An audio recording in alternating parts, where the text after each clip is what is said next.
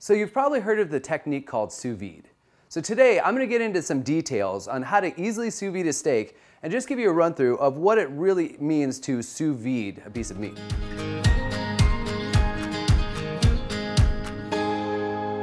So sous vide means under vacuum. So when you're using this technique, what you do is you vacuum seal a piece of meat. It could be anything, but here we're specifically talking steak. And then you put it into a water bath.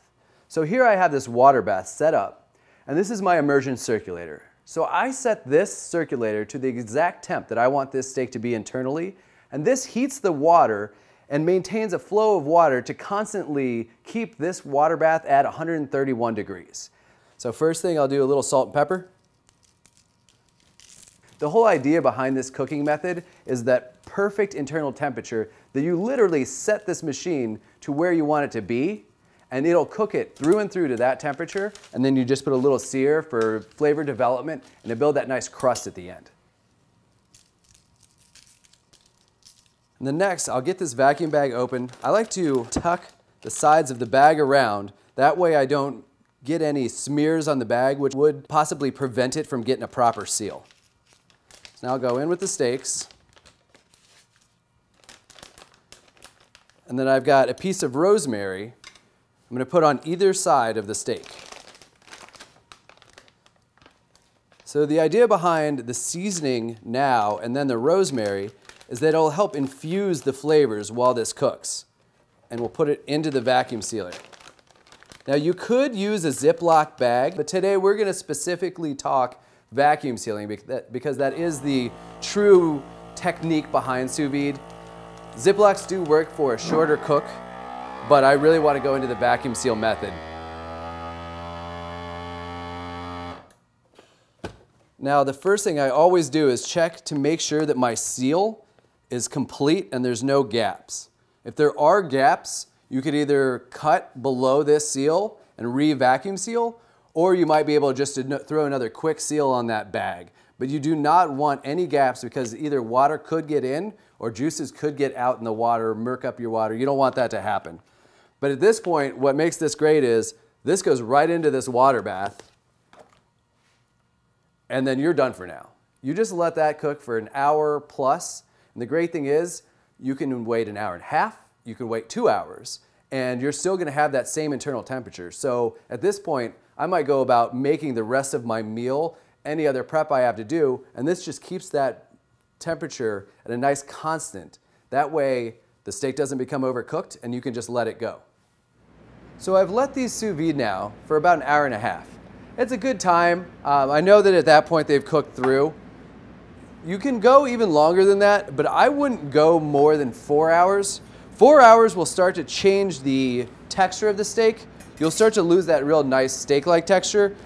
So I will pull these out and I want to pat them dry because you have created a little bit of juices lost in the bag, which is okay. That doesn't mean they're overcooked. So what we're looking at here is technically a reverse sear technique, where we're cooking the steak through completely, and then we're applying the superficial sear, which not only makes it look much nicer than they do now, but it also adds a ton of flavor.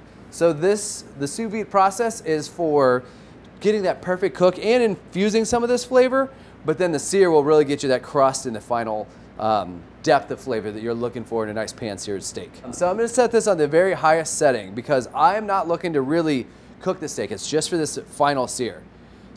So I will go in with each strip steak. Alrighty, we got some good sizzle. All right, and I'm gonna keep this rosemary that I was cooking with before because what I will do is when I flip these, I'll put this rosemary, butter, and this chunk of garlic into that pan because then that'll add a little more flavor. And I would rather just finish with this garlic at the end than have it ride throughout because I want just a little hint of garlic. I'm not trying to cook a garlic steak. So at this point, I'm going for about one minute on each side. That's it. Any steak that you would normally cook high, fast heat, you can do this sous vide technique. Set it to your desired doneness. If you like medium well, you can set it for medium well. So 131 is what I'm doing for medium rare. So now I got that. I'm gonna sear this fat side a little bit. I'll use the shape of the pan to my advantage here. And then we'll flip it right over and I'll go in with the butter, garlic, and rosemary. Okay, fat has crisped up a little bit, browned. And with that side, and with that side, butter, rosemary, garlic, right? And now I'll just give a quick check of my sear because I know my doneness is perfect. All right, and that's it. I'll pull these off, get them onto here. Even though they did a slow cook and were essentially resting that whole time they were in that sous vide, I just introduced high fast heat to them. So I don't want to slice into them right now because you kind of, all those juices that kind of redistributed were kind of settling and mellowing out during this cooking process started to move fast again. So we want to give them just a minute to rest, have patience, wait to cut into it because if you want your steak perfectly done, let it rest for about five minutes. All right, so now we have our finished product. So I'm gonna go right into this. This is kind of the moment of truth here. So we'll get a little slice off this end and we'll show that nice pink center. And see how perfectly done it is? It's like end to end, medium rare. There's very little gray happening. You don't get that bullseye effect that you can sometimes get when you're cooking off um, just direct heat and trying to maintain your heat. This keeps a perfect doneness and then you're just applying that sear for look and flavor. It's new techniques which I always love playing around with. So if you like this video, please share, comment, and check out some of our other videos on different techniques that we have here in the test kitchen.